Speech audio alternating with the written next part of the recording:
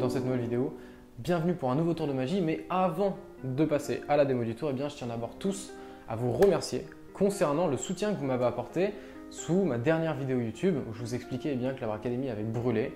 Donc pour ceux qui ne l'ont pas vu, je vous mettrai un petit i ici ou ici, je ne sais plus vraiment où c'est. Vous avez été très nombreux à me soutenir, que ce soit sous les commentaires YouTube, que ce soit par mail, mais vous avez été surtout extrêmement nombreux à commander eh bien, les formations de l'Abre Academy. Ce qui bien évidemment m'aide beaucoup pour créer des nouvelles formations, créer des nouveaux projets et finalement vous apporter encore plus de valeur. Donc je ne peux pas trop vous en parler, mais très bientôt, eh bien, il y a des nouvelles formations qui arrivent, il y a des nouveaux projets, il y a peut-être une nouvelle boutique qui va arriver et qui va beaucoup vous plaire. Je vous en dis pas plus, j'espère que ça vous plaira.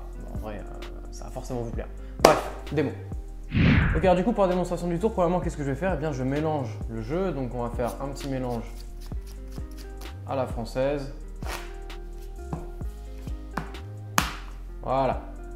Maintenant, je vais tout simplement demander au spectateur eh bien, de me dire stop quand il le souhaite pour choisir une carte. Donc, le spectateur me dit stop, par exemple, ici. Donc, il regarde sa carte. Bien évidemment, je ne la regarde pas. Et je vais demander au spectateur de poser sa carte sur le dessus du jeu. Maintenant, ce qui va être intéressant, c'est que je vais demander au spectateur, et c'est le spectateur lui-même qui va tout faire, je vais lui demander maintenant de couper le jeu où il le souhaite. Donc le spectateur coupe le jeu en deux, par exemple ici. Je lui demande de recouper le jeu, encore une fois, et de s'arrêter quand il le désire. Donc le spectateur coupe le jeu, il décide de s'arrêter ici. Je lui demande ensuite de retourner le jeu, et puis de continuer à mélanger. Et là, par exemple, je pourrais demander au spectateur eh de s'arrêter ici. S'il le désire, bien évidemment. Donc le spectateur s'est arrêté de couper, il a coupé le jeu, il a posé sa carte, il a choisi sa carte aléatoirement. J'ai aucun moyen de savoir où situe sa carte. Pourtant, ici, on a un 5. Au moment où le spectateur a décidé de s'arrêter de couper. Je vais lui demander eh bien, de compter 5 cartes, de les poser. Donc 1, 2, 3, 4. Et de regarder la cinquième carte. Et la cinquième carte qui se situe sur le jeu, eh bien, c'est la carte choisie juste avant par le spectateur. Voilà pour la démonstration du tour. Ok, alors du coup, pour les explications du tour, vous allez voir que c'est super simple à réaliser, n'importe qui peut le faire, ça peut être fait par un débutant, il n'y a pas besoin de connaître des manipulations en magie pour savoir faire ce tour-là, et pourtant l'impact peut être très fort s'il est bien réalisé. Premièrement, qu'est-ce que je vais faire? Eh bien, je vais séparer une famille de cartes du reste du jeu. Donc, pour ma part, j'ai choisi les piques, mais bien évidemment, on aurait pu choisir cœur, carreau, trèfle, par exemple. J'ai choisi les piques. Donc vous pouvez faire comme moi, vous pouvez séparer une famille et prendre As, 2, 3, 4, 5, 6, 7, 8, 9, 10, valet, dame, roi. Donc on va les mettre dans ce sens-là. On va prendre notre famille de cartes et on va la mettre sous le jeu. Une fois que la famille de cartes est sous le jeu, notre jeu est prêt pour réaliser le tour. Donc on va demander au spectateur de choisir une carte, mais avant tout, eh bien, on peut lui faire croire qu'on va mélanger le jeu.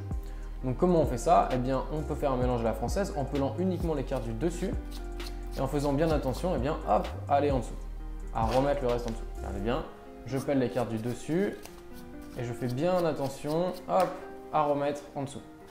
Très brièvement. Ce qui donne l'illusion au spectateur qui, lui, ne connaît pas ce genre de mélange, qui a l'impression que j'ai mélangé normalement, eh bien, qui donne l'illusion que j'ai vraiment mélangé. Alors que finalement, j'ai gardé ma disposition avec tous mes pics ici. Vous voyez? Maintenant, bien évidemment, je peux faire des fausses coupes. Je peux faire une fausse coupe en 3. Hop, j'ai gardé ma disposition. Je peux faire une fausse coupe en 2. J'ai gardé ma disposition.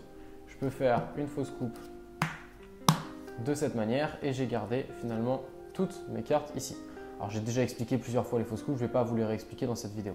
À vous d'utiliser la technique que vous voulez. Le but étant de faire croire au spectateur qu'on a mélangé le jeu tout en gardant finalement eh bien, nos pics ici.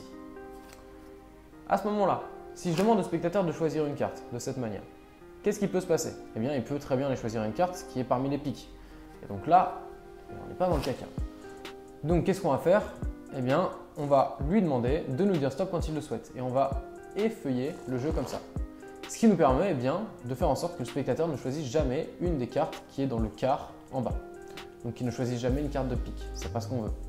Donc, on va lui demander de choisir une carte, de nous dire stop quand il le veut. Donc il nous dit stop quand il le veut, on effeuille par exemple ici. Hop, on sait que c'est pas une pique puisqu'on est à peu près au milieu du jeu. Le spectateur regarde sa carte, on va la regarder ensemble, c'est un as de carreau. On va lui demander de poser sa carte sur le dessus du jeu. On peut lui demander de signer sa carte s'il le souhaite, mais bon, ça n'a pas grand intérêt. Et on va aussi maintenant lui demander de, de couper le jeu autant de fois qu'il le souhaite. Ce qui est très fort avec ce tour, c'est qu'il demande zéro manipulation et que maintenant, c'est le spectateur lui-même qui va réaliser le tour. Puisque là, le magicien n'a plus besoin d'intervenir. Il va juste donner des indications. Si je veux, je ne touche plus au jeu, le tour va se faire tout seul. Donc, le spectateur coupe le jeu. Ce qui lui donne l'illusion eh bien, de créer de l'aléatoire. Mais qu'est-ce qui s'est passé quand j'ai coupé le jeu? Eh bien, regardez bien, on va aller retrouver ma petite famille, voilà, mes as.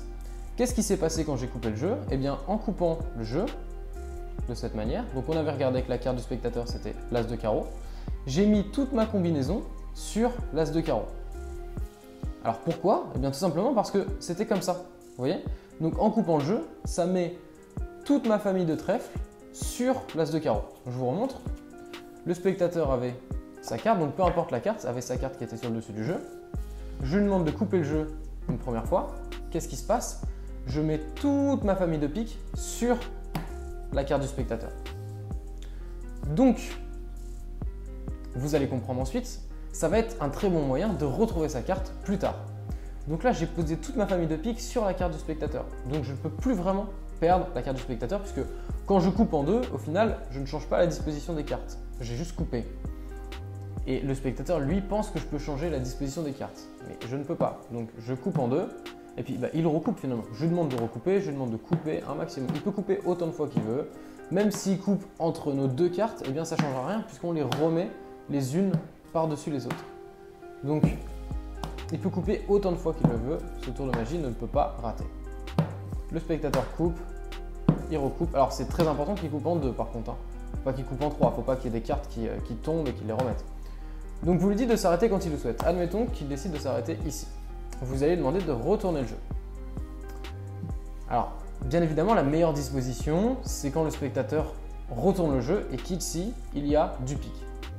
Si ça avait été un 8 de pique, réfléchissez bien, si ça avait été un 8 de pique, étant donné que j'ai posé toute ma famille de cartes sur la carte du spectateur, ça aurait voulu dire que la huitième carte en partant du haut aurait été la carte du spectateur. On aurait besoin de compter 8 cartes et la huitième, ça aurait été la carte du spectateur. Mais là, c'est un 8 de trèfle.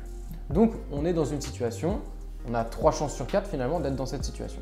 Donc, on a un petit peu moins de chance. Qu'est-ce qu'on va faire? On va pas lui demander de compter la huitième carte, on va lui demander de recouper jusqu'à temps qu'on voit du pic. Donc, on lui demande de recouper et puis dès qu'on voit du, du pic, on va l'arrêter. Il coupe, il coupe, on lui dit ok, vas-y, continue à couper, continue encore, continue. Faut bien mélanger le jeu et puis à un moment, on va voir du pic.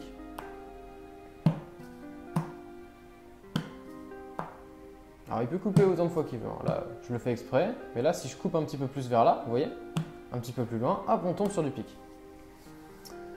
Donc là, qu'est-ce que je fais? Je l'arrête. Je dis, ok, qu'est-ce que tu veux faire? Est-ce que tu veux t'arrêter là ou est-ce que tu veux continuer?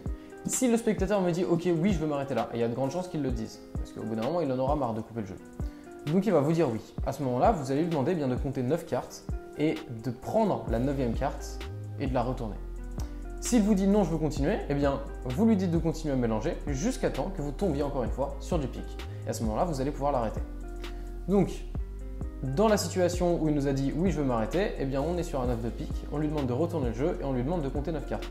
Qu'est-ce qui se passe? Eh bien, toutes les cartes qui sont ici, c'est les cartes, vous voyez, 8, 7, 6, 5, 4. Donc, si le spectateur compte 9 cartes, 1, 2, 3, 4, 5, 6, 7, 8, la neuvième carte, bien évidemment, c'est la carte choisie par le spectateur lui-même. Donc, on lui donne l'impression d'avoir mélangé le jeu. On lui donne l'impression d'avoir créé de l'aléatoire. On lui donne l'impression de s'être arrêté quand il le souhaitait. Et ensuite, on lui demande de compter la carte et il tombe sur sa carte à lui. Voilà la puissance de ce tour. J'espère que ça vous aura plu. Si vous voulez profiter de trois tours de magie qui sont professionnels, qui sont faciles et qui sont bien évidemment très impressionnants, et eh bien comme d'habitude, vous avez un petit lien dans la description, vous avez juste à rentrer votre email et vous pourrez profiter de ces trois tours qui vous seront envoyés en trois jours. Voilà, j'espère que ce petit tour vous aura plu et quant à moi, je vous dis à très bientôt pour un prochain tour de magie et pour une prochaine vidéo.